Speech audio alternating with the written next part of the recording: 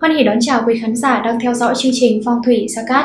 Thưa quý vị, số mệnh của con người mỗi năm mỗi khác do sự vận động của các hành tinh gây nên những trường lực khác nhau tới từng vị trí của từng năm và cũng đó ảnh hưởng đến trực tiếp cuộc sống của mỗi chúng ta. Để nắm bắt được vận mệnh của mình, Mỗi dịp cuối năm hay đầu năm, chúng ta vẫn thường đi xem tử vi để biết được vận trình của mình trong năm như thế nào, công danh sự nghiệp ra sao. Quý vị thân mến, việc xem tử vi cho nhâm dần sinh năm 1962 trong năm 2023 sẽ giúp quý vị nắm được vận mệnh tốt hay xấu của mình. Qua phần luận giải chi tiết về tử vi của tuổi nhâm dần sẽ chỉ rõ cho quý vị những bước đi chính xác trong năm mới 2023.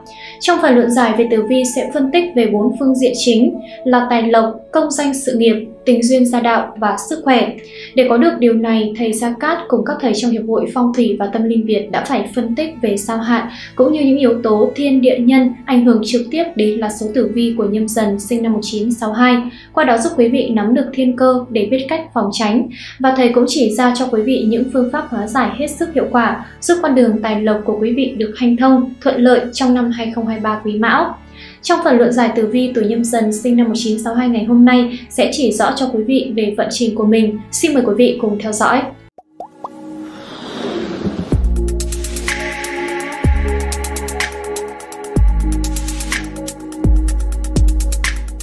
Thưa quý vị, để có được một năm mới may mắn và bình an, và đầu năm, các chuyên gia phong thủy khuyên mọi người làm lễ nghênh thái tuế khi cúng ra cửa ngoài sân, để cho vận trình sức khỏe và gia đạo được hanh thông thuận lợi. Thầy Gia Cát khuyên gia chủ hãy luôn mang theo bên mình một kim bài thái tuế để nghênh đón thái tuế, mang lại may mắn và bình an. Đặc biệt, kim bài thái tuế của phong thủy gia Cát được thầy gia Cát trực tiếp khai quang, trì chú và xem ngày sử dụng cho gia chủ nhâm dần sinh năm 1962 để mang lại tác dụng phong thủy tốt nhất hiện nay. Vậy nên gia chủ hoàn toàn yên tâm khi sử dụng kim bài thái tuế của thầy. Tổng quan vận mệnh tuổi nhâm dần sinh năm 1962 năm mạng trong năm 2023 trong năm Quý Mão, người tuổi nhâm dần sinh năm 1962 tài vận sụt giảm. Vốn dĩ trong năm 2023, gia chủ có một vài cơ hội làm giàu, tăng thêm thu nhập, nhưng rồi lại đối mặt với họa phá tài vì bạn bè, anh em họ hàng. Thậm chí có lúc còn vì theo Thậm chí có lúc còn là vì chiều theo nhu cầu của bản thân mà chi tiêu tùy hứng nên tiền trong tài khoản vơi đi là điều đương nhiên. Ngoài ra, con giáp này cũng rất dễ gặp họa thị phi trong năm, sức khỏe cũng có vấn đề, chớ nên chủ quan. Xét về vận hạn năm Quý Mão 2023, nhâm dần sinh năm 1962 năm mạng gặp phải. Sao chiếu mệnh, sao thái âm, vận hạn là hạn diêm vương, hạn tam tai, năm 2023, năm mạng không phạm tam tai, hạn hoàng ốc, không phạm hoàng ốc, kim lâu, rơi vào kim lâu. Về địa chi, dần gặp mão là bình hòa yên ổn, hay nói cách khác người tử quý mão nam mạng không phạm thái tuế. Xét về mối quan hệ thiên can, Thiên can nhâm dương thủy gặp quý âm thủy nên gọi là kiếp tài, nghĩa là ngang bằng với bản thân.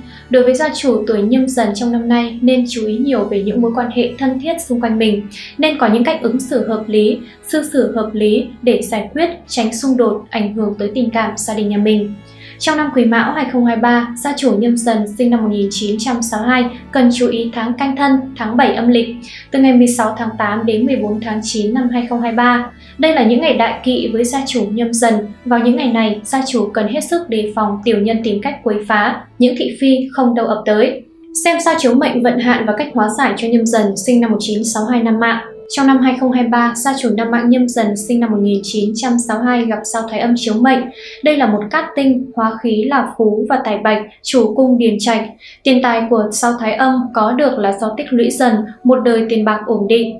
Sao thái âm thuộc thủy là tinh túy của nước, sao thái âm rất tốt cho phụ nữ. Nam giới được sao thái âm chiếu mệnh sẽ được bạn bè là nữ giới giúp đỡ, đặc biệt là tiền bạc, thế nên sao thái âm còn được gọi là tài tinh.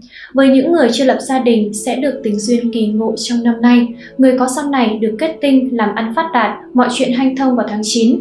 Tuy nhiên, những người gặp sao này kỵ cho nữ sinh đẻ và nam gặp bệnh tật vào tháng 11 âm lịch. Hóa giải, làm lễ cúng sao giải hạn vào lúc 7 giờ đến 9 giờ ngày 26 âm lịch hàng tháng. Đây là thời điểm mà sao thái âm đăng viên chiếu sáng nhất trong tháng. Chuẩn bị hương hoa, trái cây, tiền vàng, quả, nước, trà, đinh tiền vàng, mũ vàng, muối gạo, 36 đồng tiền và 7 ngọn nến cùng với bảy vị màu vàng có ghi Đức Nguyệt Cung Thái Âm Hoàng hậu Tinh Quân. Lưu ý tất cả lễ vật đều phải có màu vàng, trường hợp có màu khác thì gia chủ cần lấy giấy màu vàng bọc lại hoặc lót ở bên dưới, hoặc có thể để vật dụng yếu tố phong thủy để khắc chế. Sao Thái Âm là sao tốt thuộc hành thủy, vì thế để tăng cường cát khí hành thủy, gia chủ hãy dùng màu đen bằng cách đeo trang sức đá quý màu đen, màu xám, màu xanh biển. Ngoài ra, vì gia chủ có thể sử dụng màu trắng như đeo đá thạch anh tóc trắng, màu chủ hành kim, để kim sinh thủy càng thêm tốt, điều này sẽ kích thích và tăng nhiều tài lộc cho gia chủ hơn nữa. Gia chủ nhâm dần sinh năm 1962 năm mạng năm nay gặp hạn diêu Vương. Theo những tài liệu cổ xưa để lại thì hạn diêu Vương được cô đúc trong hai câu thơ lục bát. diêu Vương rất kỵ đàn bà, dù lầm sản nạn chắc là mạng vong. Cứ theo ý tứ của hai câu thơ trên, ta chắc chắn phần nào hiểu được hạn Diêm Vương tốt hay xấu. Theo đó hạn Diêm Vương bất lợi lớn đối với những người thuộc phái nữ, đặc biệt những người mang bầu, sinh em bé, thì hạn sức khỏe thai sản thường bị đe dọa nghiêm trọng. Tình hình nặng nhất có thể nguy hiểm tới tính mạng. Nhiều ghi chép khác về hạn siêu vương và biển diện của hạn siêu vương là gì thì hạn này ngoài phụ nữ thai sản bị ảnh hưởng nặng nề thì những người bị đau yếu, bệnh tật nếu không được chữa trị cẩn thận cũng gặp nguy hiểm và rất lâu khỏi bệnh. Nhìn chung, hạn sinh vương là hạn xấu với trường hợp người bệnh, đau ốm và phụ nữ mang thai. Để hóa giải niên hạn xấu, hai đối tượng này cần quan tâm và chăm sóc đến sức khỏe bản thân nhiều hơn. Với phụ nữ mang thai, trong suốt hành trình mang thai 9 tháng 10 ngày, hãy cẩn thận và chú ý đến chế độ dinh dưỡng và nghỉ ngơi hợp lý. Đừng quá tập trung vào công việc, hãy dành nhiều thời gian nghỉ ngơi, thư giãn với đầu óc. Với người đau ốm bệnh tật, khi gặp hạn Diêm Vương, gia chủ nên chủ động nhận biết mức độ căn bệnh của mình thế nào để thăm khám điều trị kịp thời. Cần chủ động khám và điều trị đúng khoa học, tránh nghe theo lời người khác, uống thuốc dân gian. Điều này ảnh hưởng rất lớn đến bệnh tình, không may dẫn đến cái chết.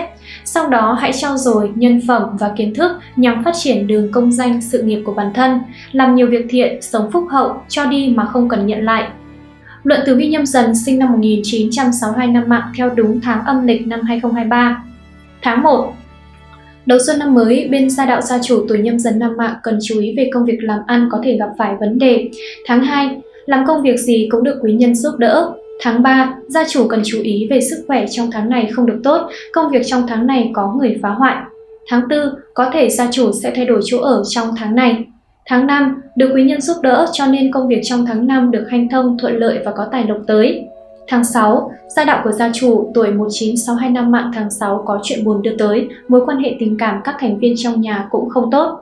Tháng 7, đây là tháng gia chủ nên chú ý cẩn thận việc chuyển đi xe cộ hoặc có thể mất mát về tiền bạc của cải. Tháng 8, tháng này gia chủ có sự tiêu pha nhiều tiền bạc và các công việc kinh doanh làm ăn. Tốt nhất trước những dự định đầu tư nên tính toán kỹ lưỡng. Tháng 9, công việc làm ăn trong năm tháng có sự ổn định.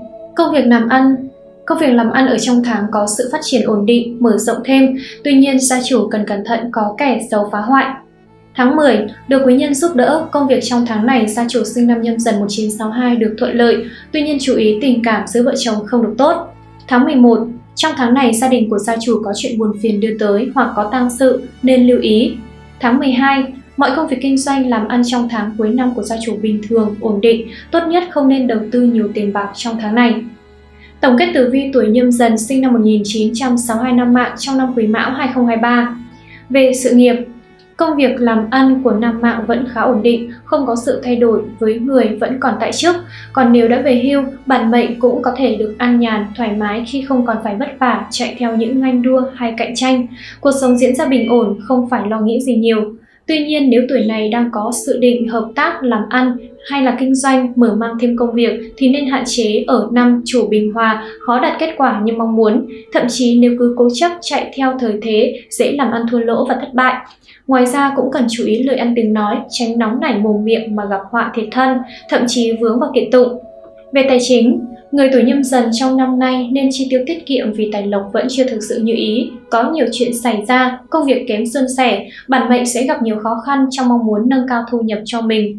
Gia chủ nên lượng sức mình, biết bản thân đang ở đâu có ưu thế gì và cần phải làm sao để đạt được mục tiêu mình mong muốn. Tuy nhiên, đôi khi những gia chủ tuổi nhâm dần lại chưa biết linh hoạt để giải tỏa bớt áp lực cho mình. Bác chỉ chăm chăm làm việc mà không giải trí, thư giãn tinh thần nên có thể sẽ cảm thấy mệt mỏi. Nên biết nghỉ ngơi cùng với làm việc để tái tạo sức lao động, chứ nên tham công tiếc việc quá mức bởi khi cơ thể đã mệt mỏi thì dù có cố gắng hết sức làm việc cũng khó đạt được hiệu quả cao. Về sức khỏe, Xem tử vi nhâm dần năm 2023 năm mạng, gia chủ cần đặc biệt chú ý vấn đề sức khỏe trong năm. Mỗi năm tuổi tác tăng lên, cơ thể cũng có nhiều vấn đề phải lưu tâm, nhất là trong năm nay còn có sao xấu chiếu mệnh. Càng cần phải để tâm kẻo mắc bệnh đau ốm sẽ lâu khỏi. Đặc biệt lưu ý về bệnh huyết áp, bản mệnh nên đi khám sức khỏe định kỳ để có thể phát hiện và chữa trị sớm. Đồng thời ở tuổi này thì nên đề cao chăm sóc sức khỏe, cân bằng giữa công việc và nghỉ ngơi để tinh thần được thư thả, giảm bớt áp lực đầu óc. Đừng vì quá tham công tiếc việc mà coi nhẹ sức khỏe của mình. Ngoài ra, năm mạng tuổi này cũng cần chú ý trong nhà sẽ có người lớn tuổi bị ốm đau và bệnh tật. Gia chủ nếu có thời gian nên đi chùa thường xuyên để tâm được tĩnh. Mệnh chủ trong năm nay cần phải sử dụng vòng cổ, bát bảo, tâm kinh để bổ trợ thân mệnh cho mình. Đây là pháp khí phong thủy của nhà Phật, mang lại sức khỏe, giúp chiêu vận quý nhân, kích tài nam phúc, tăng cường hòa hợp thiên địa nhân hợp nhất. Vật phẩm phong thủy được thầy Gia Cát trực tiếp khai quang, trì chú và xem ngày sử dụng để mang lại tác dụng phong thủy tốt nhất cho gia chủ. Về tình cảm gia đạo, Gia đạo của năm mạng tuổi này có nhiều chuyện không như ý, các thành viên đôi khi xảy ra mâu thuẫn, vợ chồng bất hòa, sinh giận dỗi, anh em có lời qua tiếng lại khiến không khí gia đình trở nên căng thẳng và mất vui. Chính bản thân người tuổi này cũng nên chú ý kiểm soát cảm xúc của bản thân, tránh thái độ nóng nảy rồi nạt nộ con cháu, bạn đời khiến đối phương sinh lòng bất mãn, không nghe lời. Những lời khuyên giải nhẹ nhàng có thể sẽ có tác dụng tốt hơn là quát mắng. Gia chủ nên đem bên mình vòng tam hợp quý nhân dần ngọ tuất, giúp kỵ tà, hoa sát, gia đình hòa hợp, đặc biệt vòng tam hợp quý nhân cũng được thầy Gia Cát trực tiếp khai quang, trì chú và xem ngày giờ sử dụng cho gia chủ nhâm dần sinh năm 1962 năm mạng để vật phẩm mang lại công năng phong thủy tốt nhất. Thưa quý vị, trong cuộc sống không phải ai cũng luôn gặp được may mắn và thành công. Mỗi năm vận hạn mỗi người sẽ khác nhau, chính vì thế mà chúng ta luôn phải vững tin vào cuộc sống đầy trong gai này. Qua phần luận giải của chúng tôi, quý vị đã phần nào nắm được vận hạn của mình trong năm 2023 Quý Mão, từ đó sẽ có những bước đi vững chắc hơn trong tương lai sắp tới. Rất cảm ơn quý vị đã quan tâm theo dõi và đồng hành cùng chương trình trong suốt thời gian qua. Còn bây giờ, xin chào và hẹn gặp lại quý vị trong những video tiếp theo.